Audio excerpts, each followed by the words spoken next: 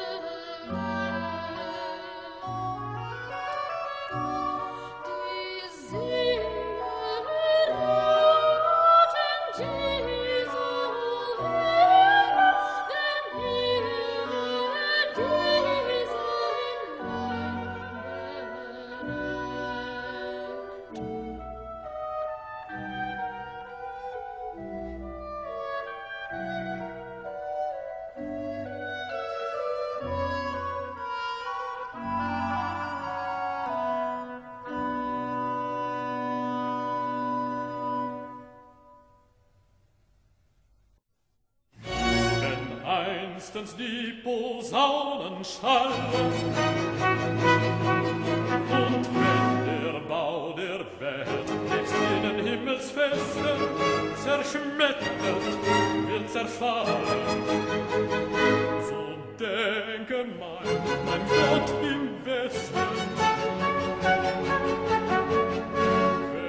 ich dein Knecht einst vors Gerichte stehn, da die Gedanken sich verklagen, so wollest du allein, o Jesu, mein Fürsprecher sein und meiner Seele tröstlich sagen. Fürwahr, fürwahr, euch sagen,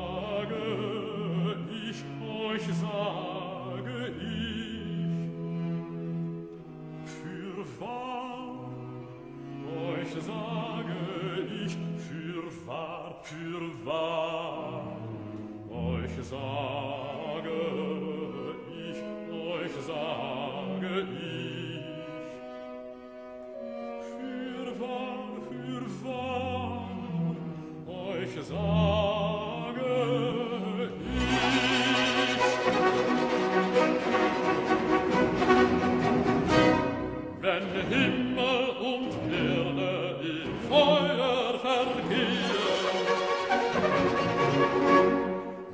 him.